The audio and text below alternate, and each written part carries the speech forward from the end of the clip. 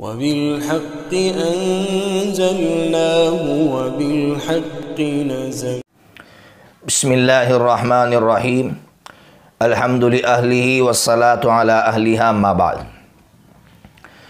मरहूम के लिए हम क्या करें देखिए हमारी शरीयत ये सिखाती है कि मरहूम के लिए सबसे ज़्यादा जो अमल मरहूम को मुफीद है फ़ायदा मंद है वो है मरहूम के लिए दुआ करना इसीलिए हम देखते हैं कि शरीयत ने हमें जनाजे की नमाज़ पढ़ने की जो है तरगीब दी है और ये कहा है कि ये फ़र्ज़ किफ़ाया है। हर इंसान के लिए एक सुन्नत अमल है।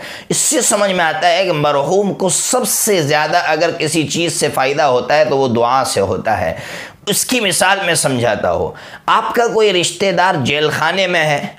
अब जो जेल खाने में उसके दो भाई है एक भाई उसको छुड़ाने की फ़िक्र में लगा हुआ है और एक भाई उसको खाना पहुंचाता है। आप खुद फैसला कीजिए, दोनों में से कौन सा बंदा अच्छा समझा जाता है? जो छुड़ाने की फ़िक्र में वो बंदा अच्छा समझा जाता है। इसलिए हमें चाहिए कि मैत के लिए हम रो रो कर दुआएँ करें। लेकिन दुआ करने के लिए सबसे पहली शर्त यह है कि इखलास के साथ दुआ की जा रही हो। क्या मतलब? पब्लिक को दिखाने के लिए ना हो। कोई प्रेशर ना हो। तब जाके ये दुआ मैत के लिए फ़ायदा मंद होगी। इसलिए तिरमिदी शरीफ के अंदर, हदीस की बहुत सारी किताबों के अंदर है कि एक मैत पर सौ आदमी अगर जनाजी की नमाज़ पढ़ते तो उसकी मफ़रत हो जाती है। क्या मतलब? सौ आदमी अल्लाह के लिए आए हो। सो आदमी सिर्फ़ इसलिए आए हो कि आप नेक थे।